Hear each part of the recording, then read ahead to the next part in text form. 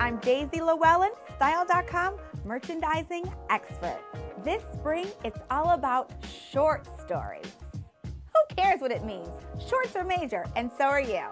The tailored short is a major, major spring trend. Pairing them with multiple layers is a great way to stay cool, but still chic.